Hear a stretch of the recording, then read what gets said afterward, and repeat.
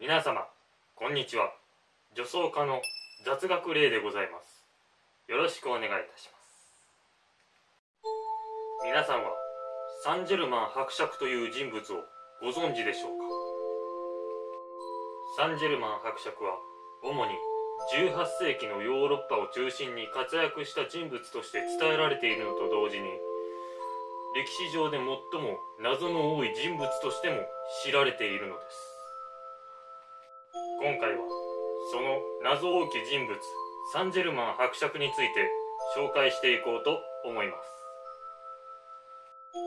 サンジェルマン伯爵は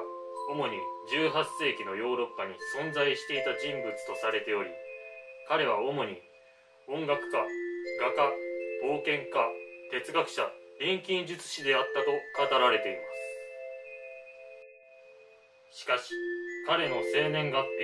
日出身地出生地生い立ちなどの経歴はほとんどが不明で未だに詳しいことは分かっておりません。一説ではスペインの皇妃マリー・アンヌ・ド・ヌブールと貴族のメルガル伯爵との私生児であり1690年から1710年の間に生まれ1784年に亡くなったと言われています。そんな彼の外見は細身で小柄で年齢はおよそ40代くらい。物腰は柔らかで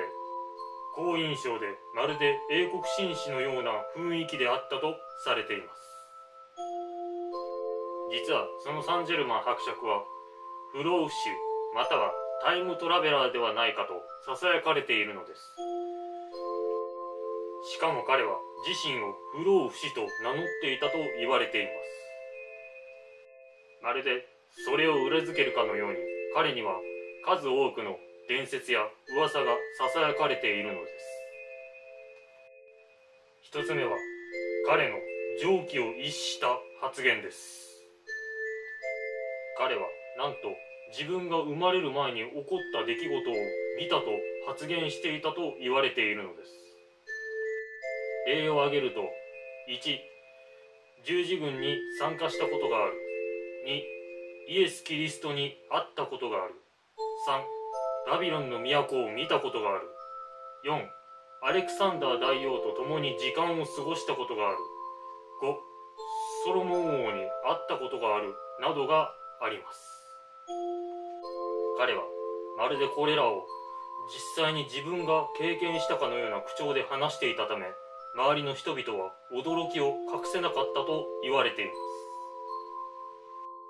2つ目は変わった食生活です。なんと彼は普段から眼薬とパンしか口にしていなかったとされています。当時のイングランド王リチャード1世が彼を食事に誘ったのですが彼は私は不老不死なのでこのパンと眼薬しか食べませんと言い実際に彼がまともな食事をしているところを見たという人は誰もいないとされています。3つ目は蝶がつくほどの芸達者であった。彼は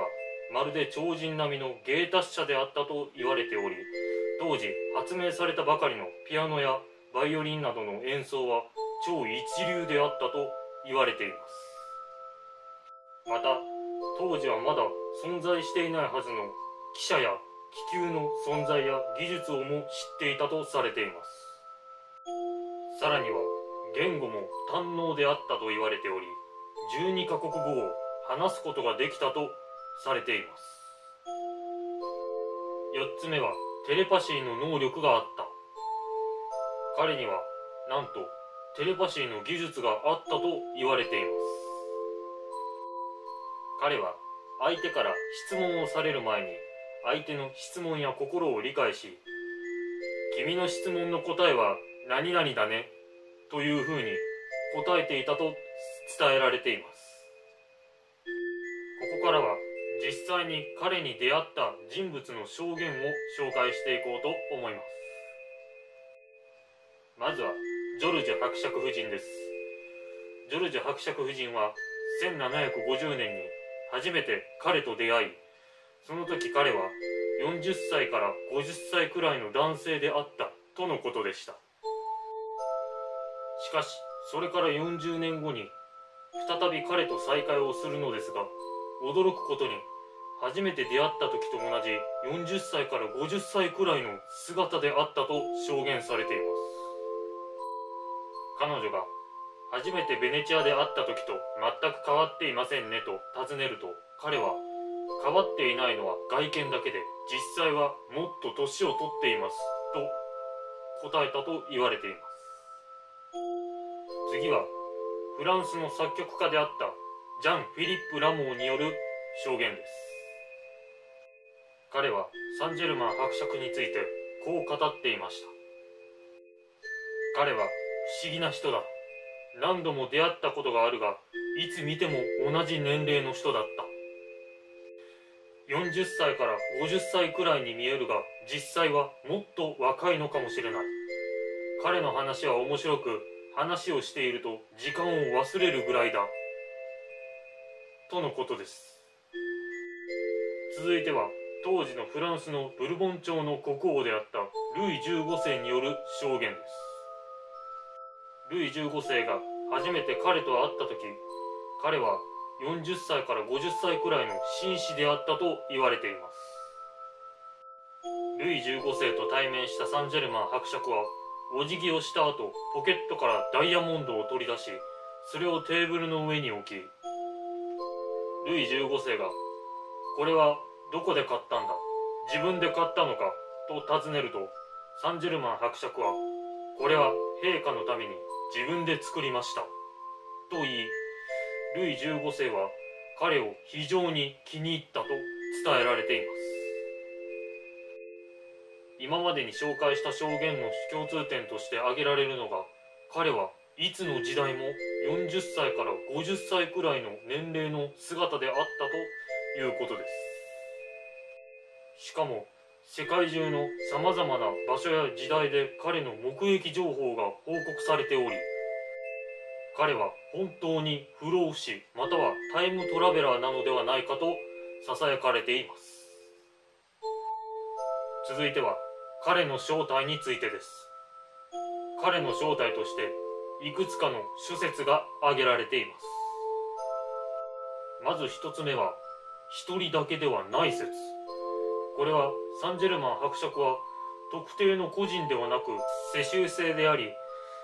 その時代またその時代の優秀な人物にこれまでの前代の彼の知識を継承しているといった説になります。2つ目は特殊なテロメアを持っていた説。人間や動物の細胞が分裂していく際その両端にあるテルメアという部分が減少していくことにより老けていきます。ところが彼には非常に特殊なテロメアがあったことにより老けずに長生きできたのではないかといった説になります。はい。以上がサンジェルマン伯爵についてでしたが彼には数多くの伝説や噂が残っており未だ大部分が謎に包まれています。もしかすると彼は本当に不老不死のタイムトラベラーであり今現在もどこかで生きているのかもしれません。皆様ご視聴ありがとうございました。また次回もよろしくお願いいたします。